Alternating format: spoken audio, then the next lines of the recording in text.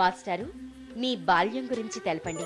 నా బాల్యం కోనసీమ ముఖద్వారం రావులపాలెంలో గడిచింది.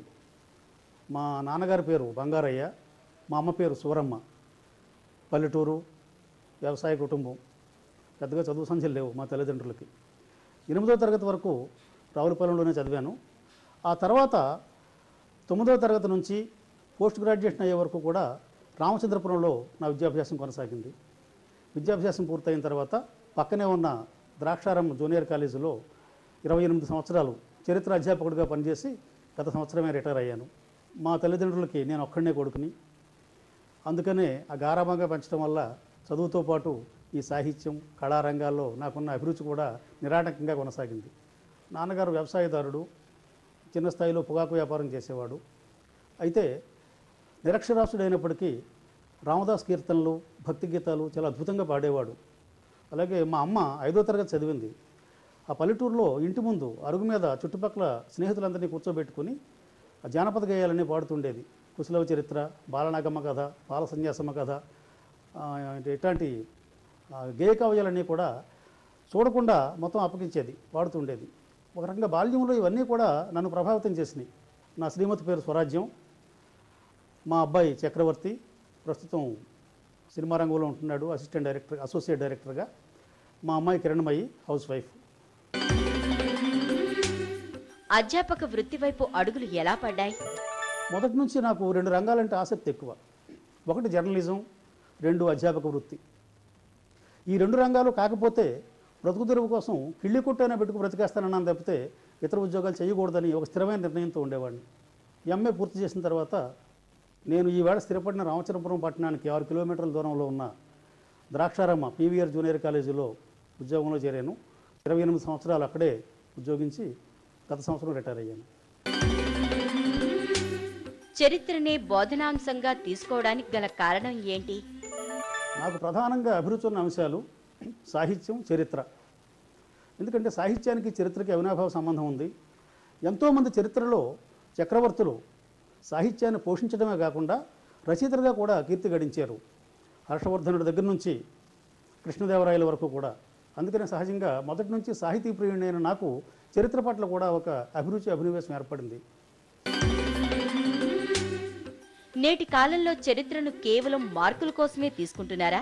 చరిత్రను మార్కుల కోసమే తీసుకోవడం అని కాదండి అసలు చరిత్రకున్న విలువను కూడా గుర్తించడం లేదు ఈవేళ ఎంతసేపు కూడా అమెరికా వెళ్ళిపోయి గ్రీన్ కార్డు సంపాదిందామనేటటువంటి ఆ కుతూహలంలో ప్రతివాడు ఇంజనీరో డాక్టరో కావాలనుకుంటున్నాడు తప్పితే మానవ జీవిత మూలాల్ని మనకు తెలియజేసి మన సంస్కారాన్ని మనకు గుర్తు చేసేటటువంటి అద్భుతమైనటువంటి పాఠ్యాంశం చరిత్ర ఆ చరిత్ర పట్ల అంతకంతకి ఆదరణ తగ్గిపోతుంది. దీని కారణం ఏమిటంటే ఈవేళ మనిషి క్యారియరిజం కోసం ప్రాకులాడుతున్నా తప్పితే మానవీయ విలువల కోసం అసలు ఆలోచించడం లేదు. కోనసీమ ముఖద్వారమైన రావులపాలెంలో వ్యవసాయ కుటుంబంలో బంగారయ్య సూరమ్మ దంపతులకు పంతొమ్మిది వందల యాభై ఎనిమిది జనవరి పద్దెనిమిదిన జన్మించారు దీపక్. ఇరవై ఎనిమిది సంవత్సరాల పాటు చరిత్ర అధ్యాపకుడిగా తమ సేవలందించిన అవిశ్రాంత అభ్యుదయ సాహితీ సమవర్తి అదృష్ట దీపక్.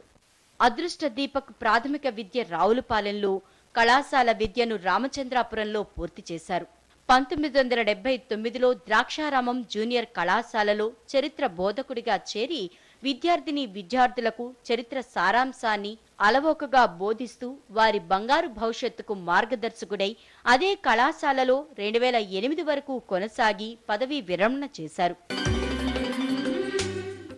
చరిత్ర అధ్యయనానికి మీరు చేసిన కృషి ఏమిటి? నేను చరిత్ర అధ్యాపకుడిగా ఇరవై ఎనిమిది సంవత్సరాలు నిజమైనటువంటి చరిత్ర పిల్లలకు చెప్పలేకపోయాననే బాధ నాకు ఎప్పుడు ఉంది. ఎందుకంటే ఈవేళ పాఠశాలల్లో కానీ కళాశాలల్లో కానీ పిల్లలకు చెప్తున్నటువంటి చరిత్ర అబద్ధాలతో నిండినటువంటి చరిత్ర. అయితే నా జీవితంలో నిజమైనటువంటి చరిత్ర నేను ఎలా చదివానంటే ముఖ్యంగా డిడి కోశాంబి లాంటి మేధావులు రాసినటువంటి చరిత్ర గ్రంథాలు చదివిన తర్వాత నిజమైనటువంటి చరిత్ర ఏమిటి? ఎలా ఉంటుంది? అసలు చరిత్రని ఏ దృక్కోణంతో పరిశీలించాలి పరిశీలించాలి అనే అభిప్రాయాలు నాలో బలంగా నాటుకున్నాయి. అలాగే తెలుగుకు సంబంధించి కమ్మంపాటి సత్యనారాయణ గారు ఇలాంటి వాళ్ళు రాసినటువంటి చరిత్ర గ్రంథాలు నన్ను ఎంతో ప్రభావితం చేసింది ముఖ్యంగా మార్క్స్ చెప్పినటువంటి చారిత్రక భౌతికవాద దృష్టి చరిత్ర పరిశోధకుడికి కానీ చరిత్ర అధ్యాపకుడికి కానీ ఖచ్చితంగా ఉండాలని నేను భావిస్తున్నాను.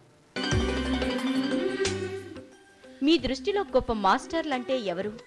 అధ్యాపకుల్లో గొప్పతనం అంటే ఈవేళ నిజానికి దాన్ని అవార్డులతో కొలవలేమండి. కారణం ఏంటంటే అధ్యాపకుడికి ఒక పది డిగ్రీలు ఉన్నంత మాత్రాన గొప్ప అధ్యాపకుడు కాలేడు. తను చెప్పే విషయం ఎదుటివాడికి అందుతుందా లేదా ఆ విద్యార్థికి అందుతుందా లేదా అనేది స్పష్టంగా ఆలోచించుకోవాలి. అది చాలా తక్కువ మందిలోనే కనిపిస్తుంది. ఇప్పుడు నా చిన్నతనం నుంచి కూడా ఉదాహరణకి నేను తెలుగు ఈ మాత్రం ప్రావీణ్యం సంపాదించానంటే మంచి తెలుగు హై స్కూల్ ఉపాధ్యాయులు నేర్పారు. కాలేజీలకు వచ్చేటప్పటికి ఆ ధోరణి పోయింది. అప్పట్లో భాషా ప్రవణం చదివినటువంటి ఉపాధ్యాయులు చాలా అద్భుతమైనటువంటి పాఠాలు చెప్పారు. ఈవేళ ఏదో లాస్ట్ సార్ట్ అనుకుని ఏదో తెలుగు మాస్టర్ ఉద్యోగం లెక్చరర్ ఉద్యోగం వస్తే చాలనుకుని చేరుతున్న వాళ్ళు తప్పితే ఆ అభినవేశం అభిరుచి తీవ్రంగా ఉన్నవాళ్ళు కనిపించడం లేదు. ఇంకొక విషయం ఏంటంటే ఉపాధ్యాయుడు ఎప్పుడు కూడా ఉపాధ్యాయుడు కానీ అధ్యాపకుడు కానీ సముద్రంలాగా అపారమైనటువంటి జ్ఞాననిధి అయితే సరిపోదు. ఆ జ్ఞానాన్ని విద్యార్థికి పంచిపెట్టే శక్తి ఉండాలి. సముద్రం నీళ్ళు తాగడానికి పనికిరావు. అదే కాలువ నీళ్ళు అయితే స్వచ్ఛంగా ఉండి తాగడానికి పనికొస్తాయి. అందుకని నా ఉద్దేశంలో ఉపాధ్యాయుడు కానీ అధ్యాపకుడు కానీ కాలువ నీరులా ప్రవహించాలి తప్పితే సముద్రంలో ఉంటే పనికిరాదు. సాహిత్యం పట్ల ఆసక్తి ఎలా కలిగింది? సాహిత్యం పట్ల నాకు ఆసక్తి ఏర్పడ్డ కారణం చిన్నతనంలో చందమామ పత్రిక. నాకు ఏడు సంవత్సరాల వయసు నుంచి కూడా ఆ పల్లెటూరులో కిళ్ళీ కొట్లలో వాళ్ళ వేలాడే చందమామ పత్రిక నన్ను బాగా ఆకర్షించింది. తర్వాత ఐదో తరగతి చదువుతుండగా నేను బాగా చదువుతున్నాను మార్కులు బాగా వస్తున్నాయనే ఉద్దేశంతో వెంకట పార్వతీశ్వర కవులు రచించినటువంటి పిల్లల బొమ్మల భారతం పుస్తకం నాకు ప్రజెంట్ చేశారు. ఆ పుస్తకం కూడా నాలో పఠనాసక్తిని బాగా పెంపొందించింది. అక్కడి నుంచి ఏ పుస్తకం కనిపించినా చదవడం మొదలుపెట్టాను. అక్కడి నుంచి రాయాలనే అభిరుచి ఏర్పడింది. అభ్యుదయ కవిగా సినీ రచయితగా మీ కలం నుంచి వచ్చిన అరుదైన పాటల గురించి తెలియచేయండి. మా కుటుంబ నేపథ్యాన్ని బట్టి మొదటి నుంచి నేను వామపక్ష భావజాలంతో బ్రతికాను. అందుకనే అభ్యుదయ రచయితల సంఘం ప్రజానాట్య మండలి ఈ సంస్థలతో నాకు చిన్నప్పటి నుంచి సంబంధాలు ఉన్నాయి. ఏడేళ్ళ వయసులో నేను గాయకుడిగా స్టేజ్ ఎక్కాను. పన్నెండేళ్ళ వయసులో ఏదో తెలిసి తెలియని వయసులో రచయితగా పత్రికల్లో ప్రవేశించాను. పదిహేనేళ్ళు వచ్చేటప్పటికి నటుడిగా నేను నిలదొక్కుని చాలా పరిషత్తుల్లో ఉత్తమ బాల నటుడి నుంచి ఉత్తమ హాస్య నటుడు ఉత్తమ క్యారెక్టర్ నటుడు ఉత్తమ నటుడు ఇలాగ ఎన్నో ప్రైజులు పొందాను. ఈ వామపక్ష భావజాలంతో కూడిన నేపథ్యం ఉండటం వల్ల నేను రాసిన రచనలన్నీ కూడా సామాజిక ప్రయోజనానికి భిన్నంగా ఏదీ సాగలేదు. నేను రాసిన పుస్తకాల్లో కోకిలమ్మ పదాలు అగ్ని ప్రాణం సమరశంఖం అడవి దీపకరాగం ఇట్లాంటి పుస్తకాలన్నీ కూడా నాకు ఎంతో మంచి పేరు ప్రఖ్యాతులు తెచ్చినాయి విద్యార్థి దశలోనే చాలా పత్రికలు సంస్థలు పెట్టినటువంటి పోటీల్లో నేను ప్రైజులు కూడా సంపాదించాను. అలాగే సినిమా రంగంలోకి వచ్చిన తర్వాత కూడా నా భావజాలం తనకు సరిపోతుందనే ఉద్దేశంతో మాదాల రంగారావు యువతరం కదిలింది సినిమాలో ఆశయాల పందిరిలో అనే పాట ద్వారా నన్ను చలనచిత్ర రంగానికి పరిచయం చేశాడు. అక్కడి నుంచి కూడా నేను రాసిన నలభై పాటల్లో ఒక మూడో నాలుగో తప్పించి మిగిలినవన్నీ కూడా సామాజిక ప్రయోజనాన్ని ఆశించి రాసిన పాటలే తప్పితే కాలక్షేపం కోసం ఏ పాట రాయలేదు నేను. ఒక పక్క చరిత్ర అధ్యాపకుడిగా ఉద్యోగ బాధ్యతలు నిర్వర్తిస్తూనే తన బాహువుల్లో దాగిన అసాధారణమైన ప్రతిభను బహు విధాలుగా వైపు విస్తరింపజేసుకున్నారు బహుముఖ ప్రజ్ఞాశాలి అదృష్ట దీపక్. సమాజంపై తనదైన శైలిలో బలమైన ముద్ర వేసేది సినీ రంగం. అలాంటి సినీ ప్రపంచంలో తెలుగువాడి హృదయ స్పందన సాక్షిగా తిరుగులేని చెరిగిపోని ముద్ర వేశారు సినీ గీత రచయిత అదృష్ట దీపక్. మానవత్వం పరిమళించే పాట నేపథ్యాన్ని వివరిస్తారా? నాకు సినిమా పాటల్లో ఎక్కువ గుర్తింపు తీసుకొచ్చింది. అటు అవార్డులు రివార్డులు కూడా వచ్చాయి. ప్రేక్షకుల్లో కూడా ఊహించిన గుర్తింపు తీసుకొచ్చిన పాట నేటి భారతం సినిమాలో మానవత్వం పరిమళించే మంచి మనసుకు స్వాగతం అనే పాట. ఆ పాట నేపథ్యం కొంతమంది పతితల్ని ఉద్ధరించి ఒక ఆదర్శవంతుడైన సబ్ ఇన్స్పెక్టర్ వాళ్ళకు ఉపాధి కల్పిస్తాడు. వాళ్ళని ఆ మార్గం నుంచి తప్పించి మంచి మనుషులుగా చేస్తాడు. ఆ తర్వాత అతను భార్యతో కలిసి వీళ్ళని చూడటానికి వచ్చినప్పుడు స్వాగతం చెప్తూ పాడే పాట. ఆ పాట నాకు చాలా గొప్ప గుర్తింపు తీసుకొచ్చింది. మానవత్వం పరిమళించే మంచి మనసుకు స్వాగతం. బ్రతుకు అర్థం తెలియజేసిన మంచి మనిషికి స్వాగతం. స్వాగతం స్వాగతం. అంటూ కొనసాగే ఈ పాట ఇంచుమించు పాతిక సంవత్సరాల తర్వాత కూడా చాలా ముఖ్యమైనటువంటి సందర్భాల్లో టీవీల్లో కానీ రేడియోల్లో కానీ ఇతరత్ర అకేషన్స్లో కానీ విపరీతంగా ఉపయోగిస్తున్నారు. అది నాకు చాలా ఆనందంగా ఉంటుంది. ఒక గొప్ప కార్యక్రమం ఏం సాగినప్పటికీ కూడా టీవీలో అనేక ఛానల్స్ ఈ పాటని బ్యాక్గ్రౌండ్లో ప్రసారం చేస్తున్నారు. అలాగే ఈ మధ్యకాలంలో ఒక ప్రముఖ పత్రిక నిర్వహించినటువంటి సర్వేలో ఇంతవరకు తెలుగులో చలనచిత్ర పరిశ్రమ మొదలైన తర్వాత ముప్పై నాలుగు వేల పాటలు వచ్చాయటండి.